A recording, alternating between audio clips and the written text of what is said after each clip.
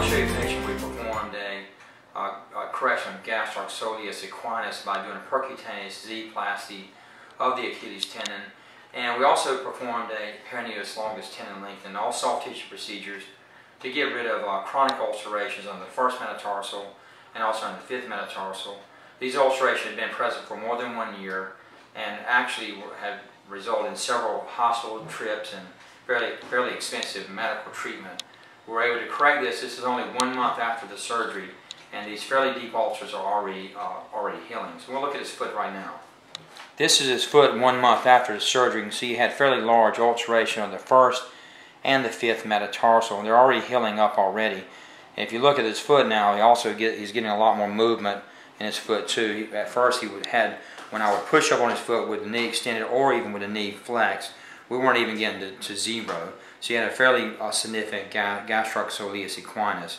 The way we corrected his uh, condition, if you look under the back of his leg, still see some remnant of the of the incision.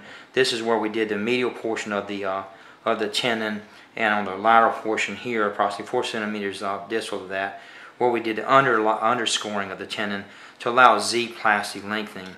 The tendon is totally intact on the top here, except for the medial part. So it's, we take advantage of the anatomy of the tendon as the tendon uh, does a 180 degree turn. Uh, this is the lateral incision where we perform the peroneus longus tendon lengthening, and this is done just uh, just dorsal to the uh, to the fibula bone, and the, both the peroneus longus and and peroneus brevis are located here. We do the longus uh, lengthening and the Z-plasty, and that takes the pressure off the first metatarsal. So we're able to kind of uh, heal these ulcerations.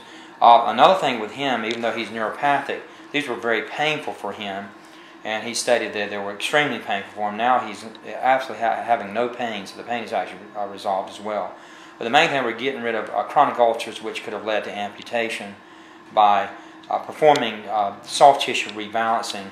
Now, normally we do this with a gastrocnemius recession, but in his case, he does have gastrocnemius soleus equinus, so the Achilles tendon lengthening is more appropriate, and obviously uh, doing the job for us here.